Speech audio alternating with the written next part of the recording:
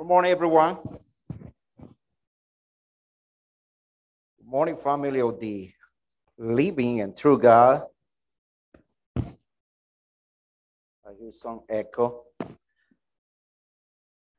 It always is a pleasure for me to be giving a, a teaching of the Bible, and I always be grateful with this local congregation for this opportunity. The title of the lesson for this morning is we find it in Genesis chapter 6, verse 5. Thanks, Brother Alex, for the scripture reading. And the title is Great Wickedness in Noah's Days. Genesis chapter 6, verse 5. This is a heartbreaking verse. And this heartbreaking verse echoes Genesis chapter 1, verse 31.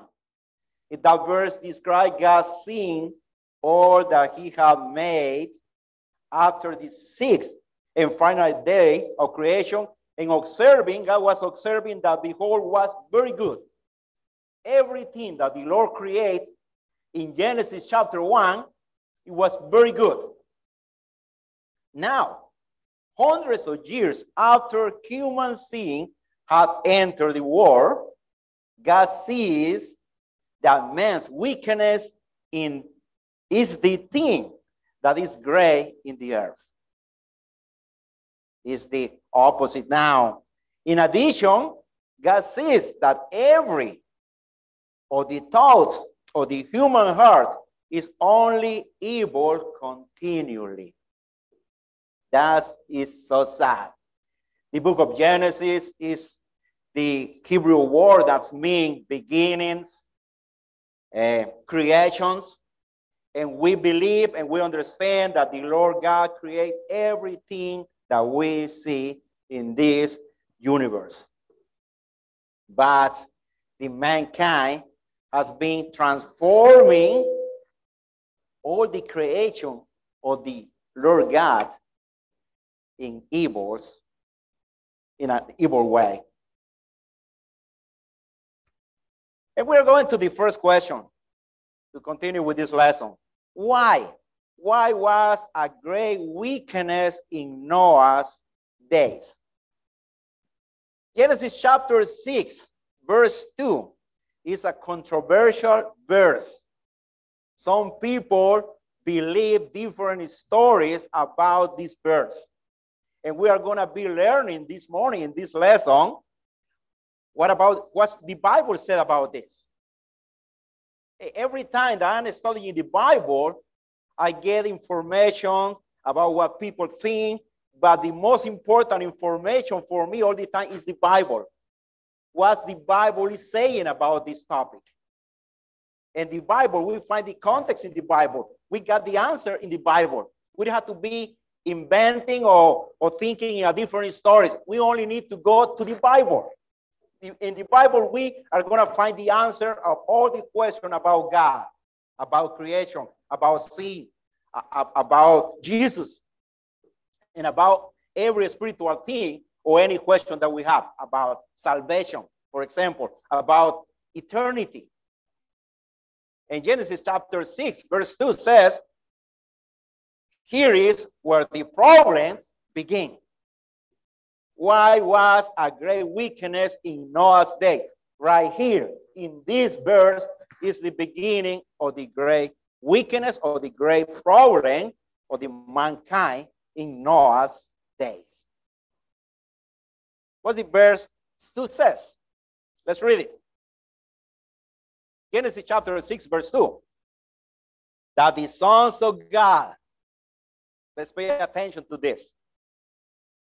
That the sons of God saw the daughters of men were beautiful and they took wives for themselves, whomever they choose. The sons of God, they saw that the daughters of men were beautiful and they decide to take wives. The sons of God were choosing wives for the wrong reason. In Genesis chapter uh, 2, we read that God create everything and he also created man. And he said, it's not good for man to be alone. I'm going to create for him a help. And he created a woman. So it's good. Before the eyes of the Lord, the marriage is good. It's something that is good. The marriage begins or is coming from above, from God. The first marriage that we see, eh, eh, we find it in the Bible right here in Genesis Adam and Eve. That's the first marriage. And so it's good. But what is the problem now? That right here we see a problem. We see a problem like to get married is a problem right here. Okay, we write right here that the sons of God were choosing wife for the wrong reason. It's not only to try to get married. We have to get, get married for the right reason. We see in the world people that is getting married every every moment. A couple hours later, or days, or months, or years later, they divorce. And people are getting married for money,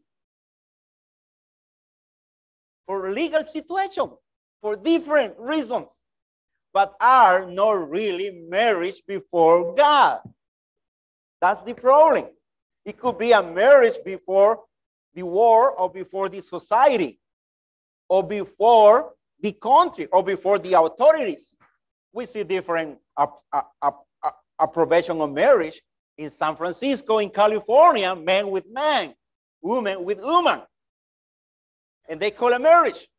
But that's not a marriage before God. So why? Why right here we see that was a problem right here. And we are saying right now in this lesson that this is the beginning of the great weakness in Noah's days. Because they took wife for the wrong reason. What was the reason that they decide, the son of God decide to take wife or the or the daughters of the men. Why? They choose women that were pretty. Is something wrong? If I if we decide to get married and to choose and to pick and to decide to to to take a wife uh, or a woman that is beautiful spirit, that's not a problem. That's not really a problem. But the second point that we have right here, they need to choose women that were good. When we are for the singles, when you are a single person, you are a single brother or a single sister, before to get married, don't only see the physical appearances. Not only that, if you find that, that's, that's good. I'm not saying that is something wrong. But if you only are choosing a wife or a husband only because he's handsome or because she's pretty or beautiful, that's the only reason that you are trying to get a husband or a wife. That's a wrong reason. That was the problem right here in Genesis chapter 6, verse 2. They need to choose women that were good beautiful and good. Two things. Blessed be the God and Father of our Lord Jesus Christ that gave to us wisdom and knowledge to choose a beautiful and good wife. A handsome and good husband. Let's give thanks to the Lord every day for that.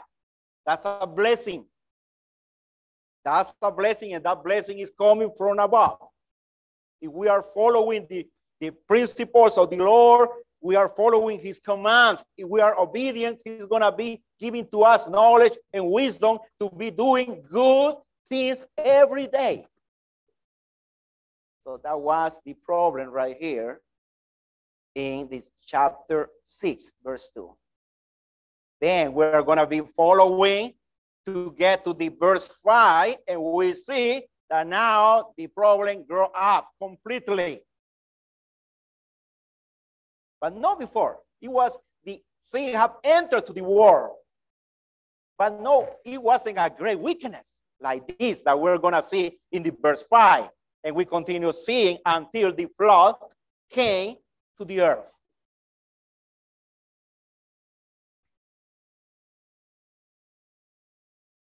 We read in, in, in verse in verse 2, the sons of God, the sons of God saw the daughters of men were beautiful.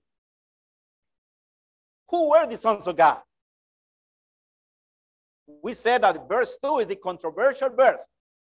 People is saying, some religious people is saying, fallen angels. Son of God means fallen angels. There it was comment before to partake the Lord's Supper that Jesus got the opportunity to call 10,000 angels to destroy the war, to save himself.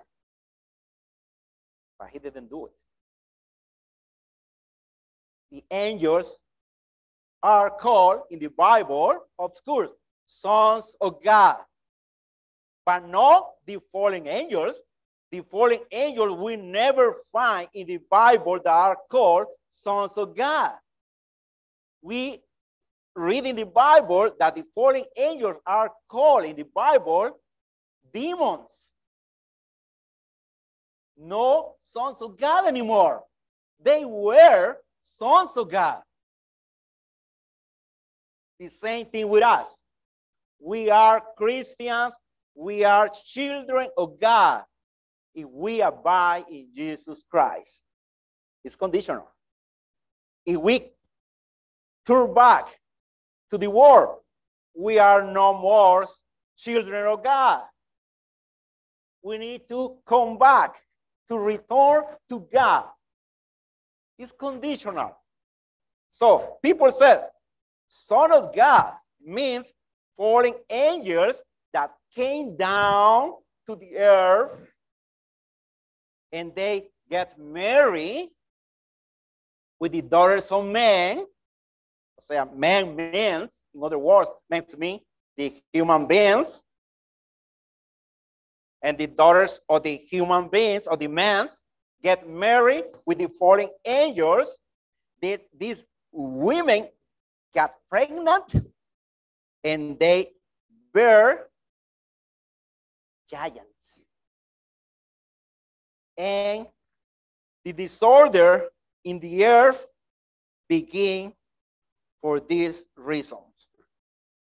That's the, the story that, that, that we hear about many people saying about this verse number two, Genesis chapter 6, verse 2. And also they are and became corrupt in all their ways. All human beings become corrupt in all their ways because these fallen angels came down and took wives.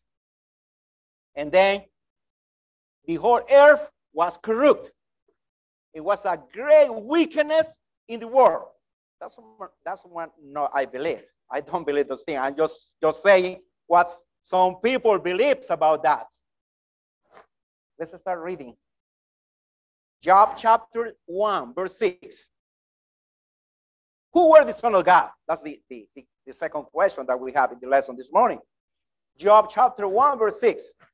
Now there was a day when the sons of God came to present themselves before the Lord, and Satan also came among them, according to Job chapter 1, verse 6, and many other verses in the Bible, in the Old Testament. We don't have enough time right now to be making reference all of them, but this is enough.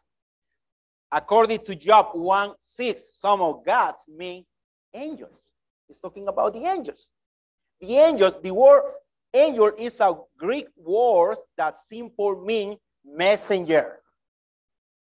The angels are son of God, but are also messengers of God.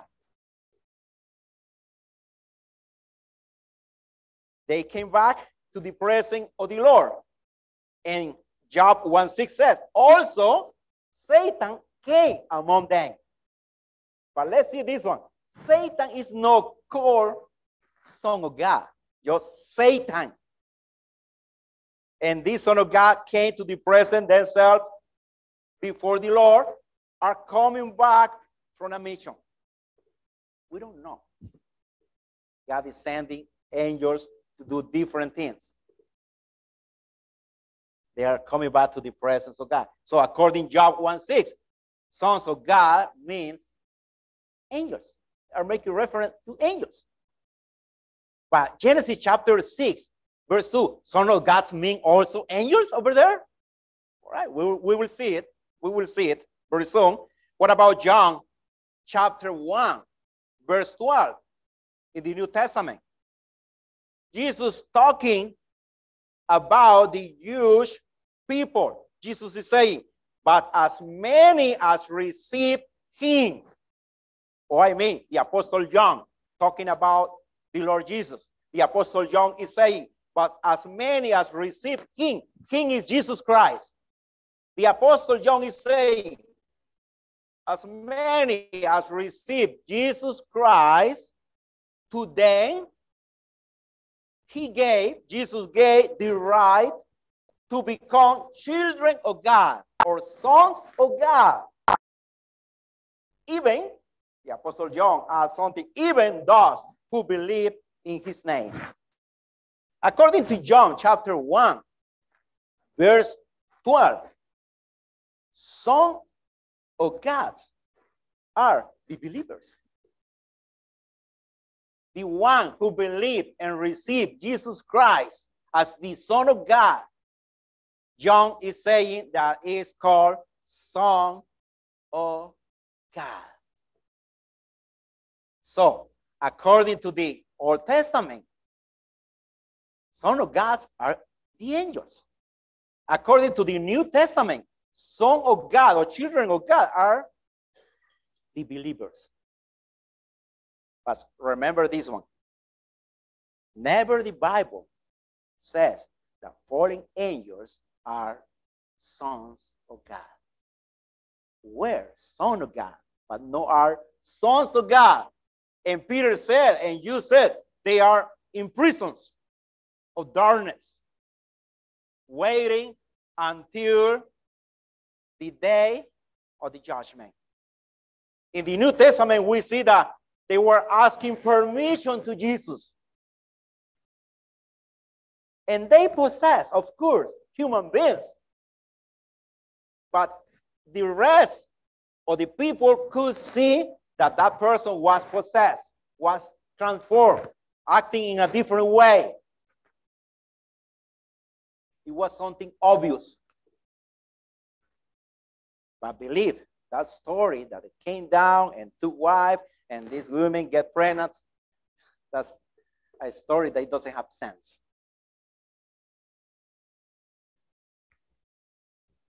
God, God responds to this great weakness for the verse 5.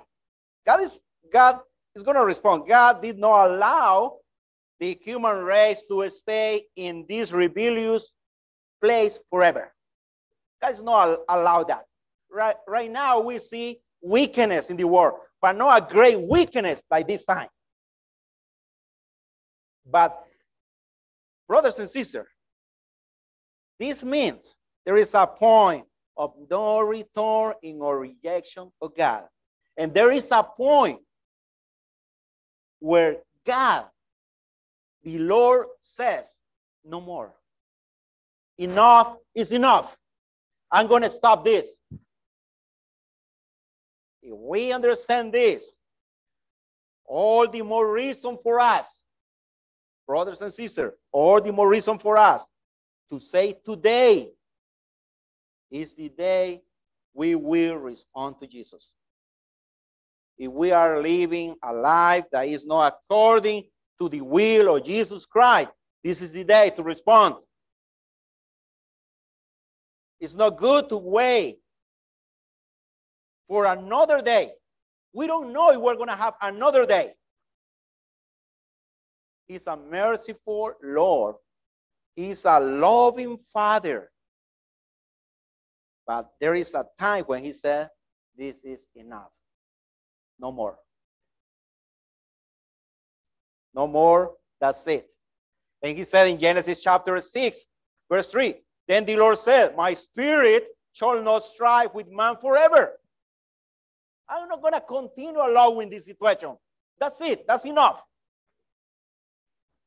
And the verse add, because he also is flesh. Again, let's pay attention to this. The Lord is not saying because he is also possessed for fallen angels. No, he doesn't say that. He said, because he also is flesh, he's a spirit, like me. When he created man, the man he created from the dust, that is the flesh. But he gave one spirit. And that internal part is similar to God. That's the way that we are created at the image and likeness of God, not in the physical. God is not flesh, God's spirit. John chapter 4, verse 24. That's what he's saying right here in the verse 3. Then the Lord said, the Lord God said, My spirit shall not strive with man forever because he also is flesh. His spirit, like me, but he also is flesh. We are not equal. Nevertheless, his days shall be 120 years. That's it. I'm not going to continue allowing this great weakness on the earth. 120 years. This is not the outside lifespans of man, but the time left until the judgment of the flood. 120 years is going to pass before the flood. In other words, this is one announcement. God was announcing to the mankind 120 years of time in order to repent of your great weakness. If you don't repent, you're gonna perish. 120 years. And that's it. No more time than that. 120 years for Noah to be teaching, persuading people, preaching, return to God. He was preaching to everybody, to the Son of God that took wife of the daughters of men. He also were over there in that number, and he was teaching today, return to God. But remember this Noah was part of the Son of God too. But he was the only family that kept the faith in God. He kept faithful. What happened with the fallen angel? Why didn't possess Noah and his family too? Have you wondered that? Why not then? Why the rest of the humanity except Noah? It's because they weren't fallen angels. The Bible is not talking about that in the following paragraph, we're going to be explaining more about that. 120 years to repent and come back to God. Every day that the Lord is giving to us, every day of life is an opportunity to repent of all sins and come back to the Lord. It's one opportunity. Verse number four. Genesis chapter six, verse number four. The Nephilim were on the earth in those days, in the days of Noah. And also afterward. I'm going to stop right here before to continue reading because I want to explain this, this, this word. This word, Nephilim, is a Hebrew word that's me that's is the English word for giant.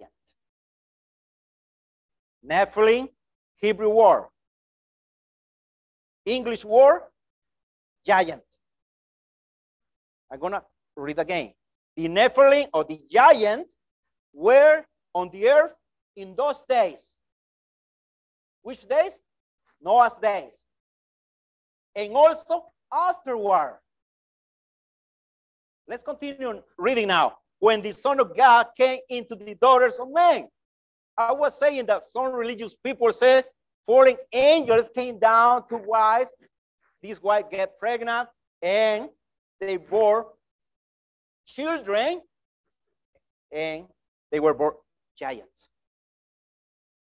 But the Bible said in the verse 4 that the giants were before to get to the verse 5.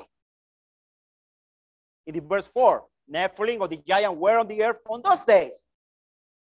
And also afterward, when the sons of God came, after that the son of God to what continue the woman giving birth giants, but they were before. So how to explain? No sense. For me, it doesn't have sense to believe that fallen angels came down, and that's the reason that the, the women uh, were uh, or get pregnant and bear giants. And then the, the earth begins to corrupt in a great way.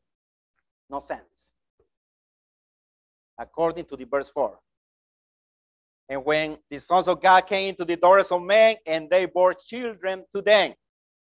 Then the verse 4 ah, those were the mighty men who were of all men or renown.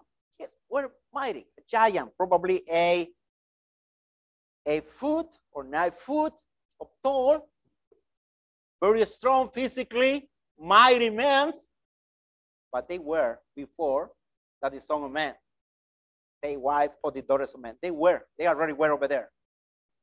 But people believe God sends, some people believe the flood to destroy this. In Numbers chapter 13, we continue reading that there were giants on the earth. What about David with Goliath? Was also a giant. So that's not the reason. That's a wrong reason to think in that way. That's not what the Bible said about that.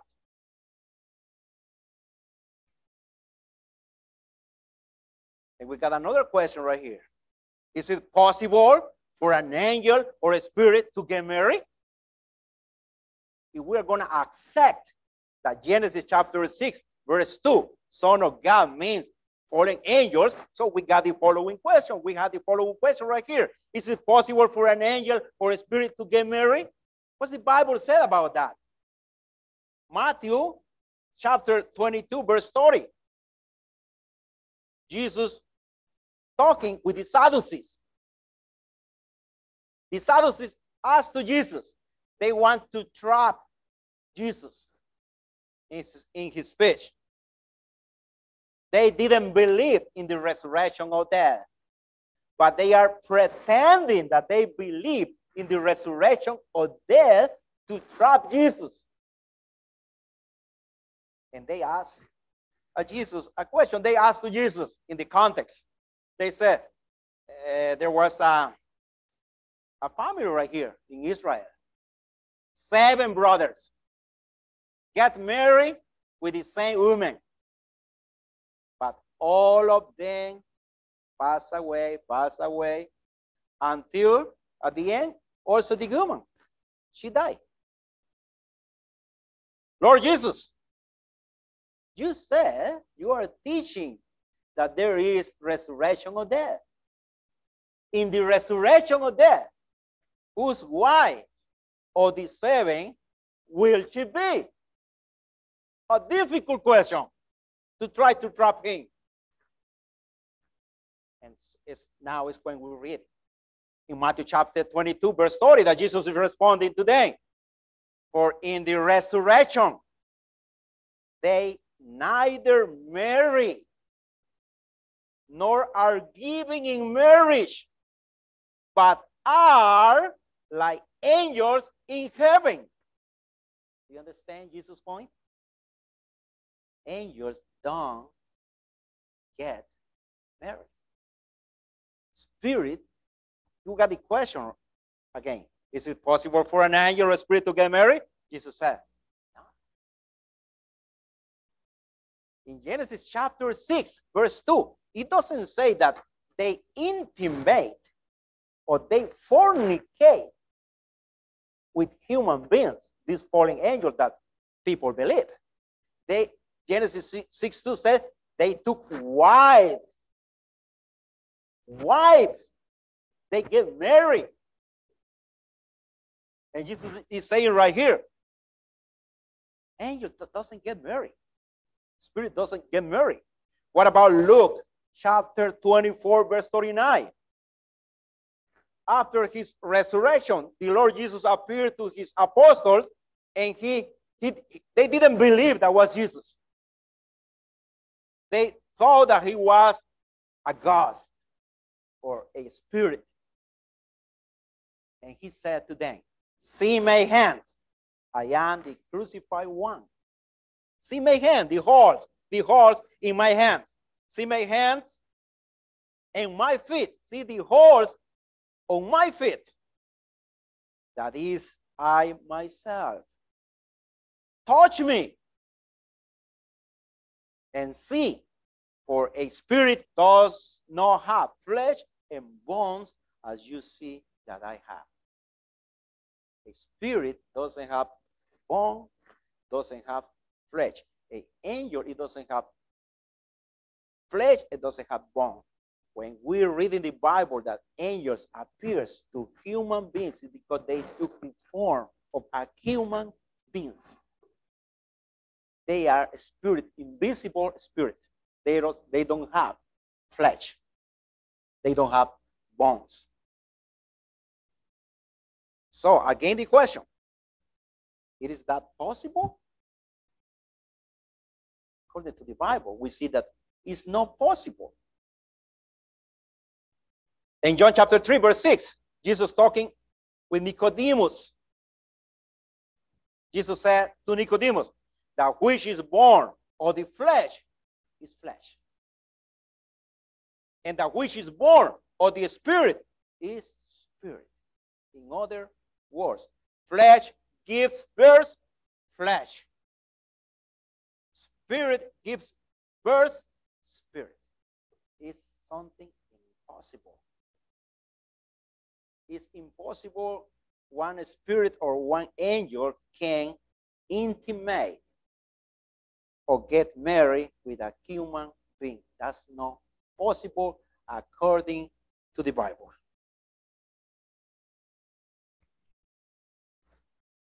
The context of Genesis chapter 6, verse 2, we find it in the same Bible. We don't have to be inventing or thinking uh, different stories. In the same Bible, we got the answers if, if you're reading your Bible, Genesis chapter 6, verse 1, verse 3, and verse 5, the context is talking about man, man, weakness of man.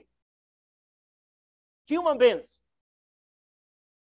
And Genesis chapter 4 is the context of Genesis chapter 2 to verse 5.